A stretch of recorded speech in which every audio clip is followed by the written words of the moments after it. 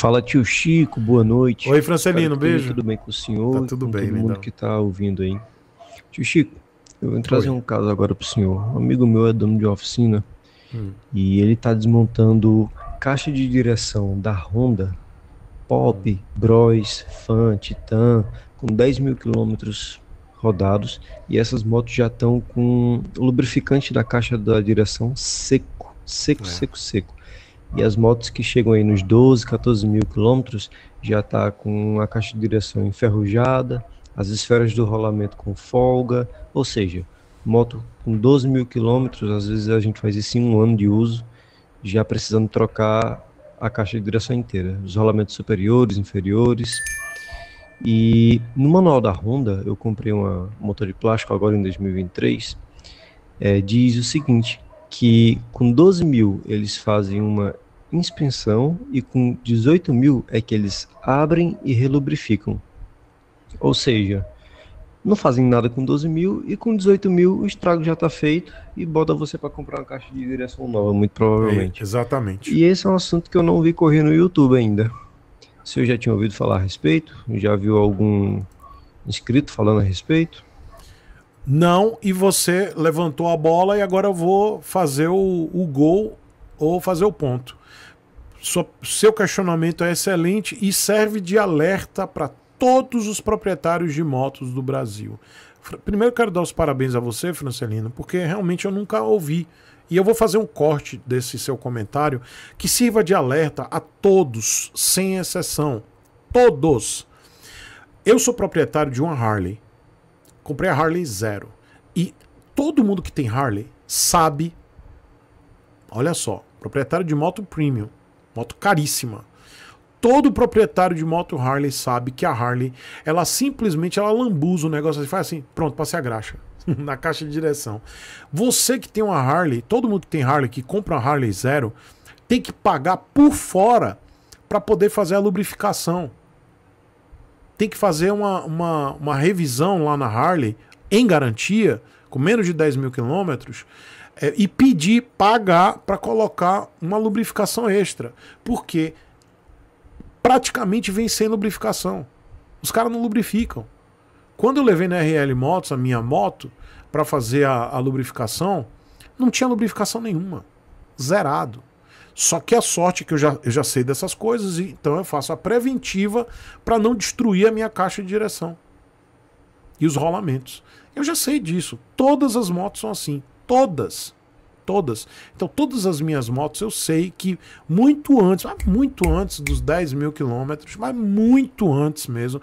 Eu geralmente eu faço isso com 3 mil quilômetros. Eu já peço para desmontar e já lubrificar a caixa de direção de todas as minhas motos para exatamente evitar. Então, é, é isso que o Francelino está falando, isso serve para todo mundo, tá, gente?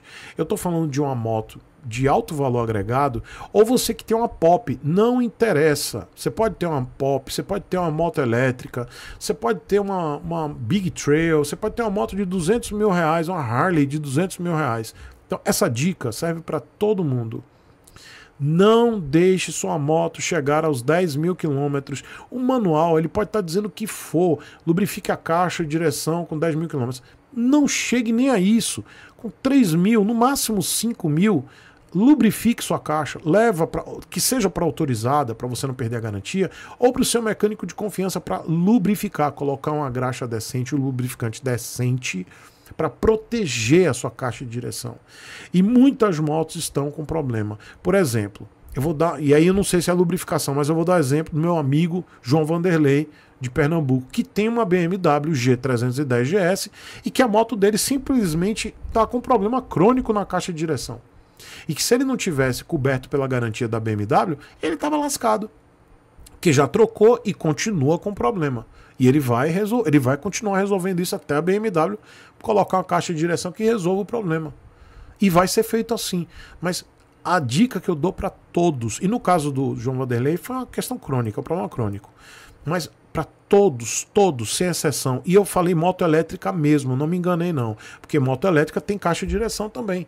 Até bicicleta tem. Tem lá os rolamentos. Então, todos vocês lubrifiquem lubrifiquem, não esperem, não leiam o manual. Ah, é só com 10 mil quilômetros. Não caia nessa. todo, até os harleiros, a galera que tem Harley sabe disso há, há anos. Todo mundo que tem Harley sabe disso. E olha que Harley hoje, você não compra nenhuma Harley Zero por menos de 100 mil reais. E os caras, eles cagam, eles não fazem a lubrificação decente. Você está pagando mais de 100 mil reais numa moto. E a lubrificação é porca, é ridícula, não dura nada. Imagine uma caixa de direção de uma moto dessa. Então, todos, sem exceção, seja uma moto de 100 cilindradas, a moto de uma moto 6 cilindros da Triumph.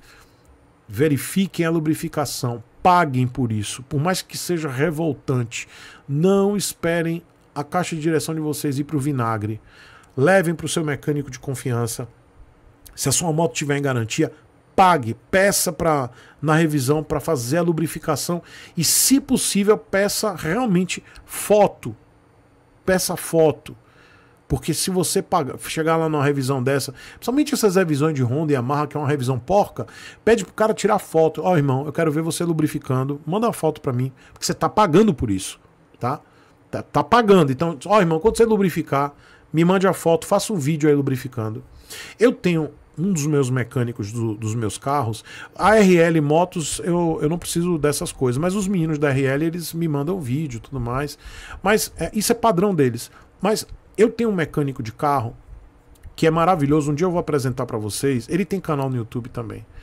É Teomave, tá? É um dos melhores mecânicos aqui de Salvador. O cara tem uma oficina simples, mas ele é o melhor. Inclusive trabalha com câmbio automático.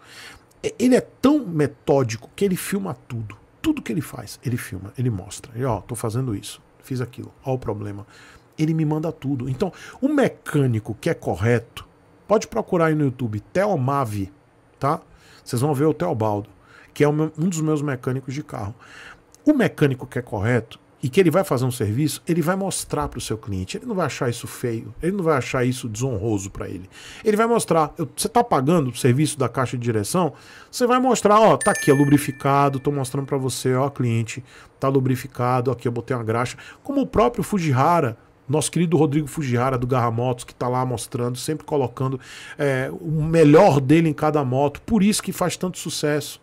Por isso que tem gente do Brasil inteiro mandando moto por cegonha pro Rodrigo Fujihara, porque hoje, sem dúvida, ele é um dos melhores mecânicos do Brasil em relação ao cuidado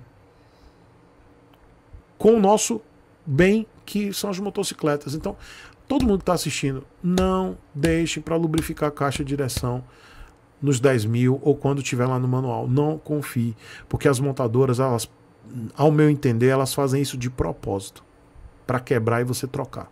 Um beijo, viu, Francelino?